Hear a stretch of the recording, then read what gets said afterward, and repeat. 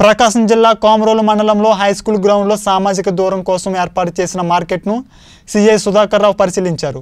కోమరోలు గ్రామ పంచాయతీ పరిధిలో ప్రజలు కరోనా బారిన పడకుండా సామాజిక దూరం కోసం ఎంఆర్వే ప్రేమసాగర్ ఏర్పాటు చేసిన కూరగాయల మార్కెట్ మాంసం దుకాణాలను పరిశీలించిన సిఐ సుధాకర్ పలు సూచనలు చేశారు.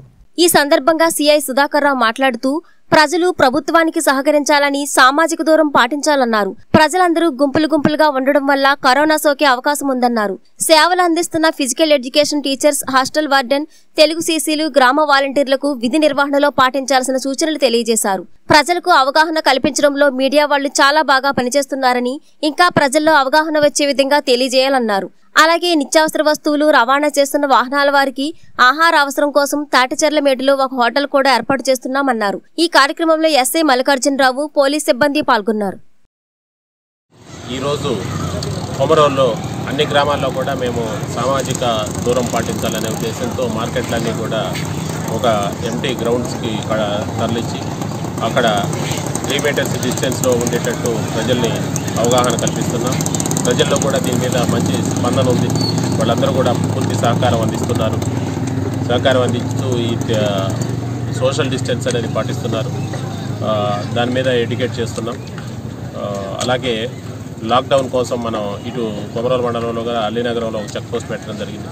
ఎట్టి పరిస్థితుల్లో కడప జిల్లా నుంచి మన జిల్లాకి ఎంట్రీ తీసుకునేది లేదు. మన జిల్లా నుంచి బయటికి పోవాలన్నా కూడా అవకాశం లేదు. కాబట్టి దయచేసి ఎవరి ఇళ్ళలో వాళ్ళే ఉండి హోమ్ క్వారంటైన్లో ఉంటే కానీ మనము ఈ కరోనా వైరస్ని అరికట్టలేమనేది ప్రజ ప్రజలకు మరొకసారి విజ్ఞప్తి చేస్తున్నాం. అందరూ కూడా సహకరించాలి.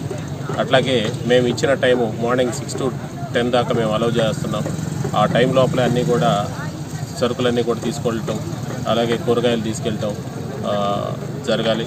ఆ తీసుకెళ్ళే టైం కూడా సోషల్ డిస్టెన్స్ అనేది చాలా ఇంపార్టెంట్. షాపుల మీద మొత్తం ఒకే పడిపోవటం దా ఒకరి ఒకరినొకరు డిస్టెన్స్ లేకుండా చేయటం కూడా కరెక్ట్ కాదనేది ఇటు మీడియా ద్వారా ప్రజలకు కూడా అవగాహన అయింది.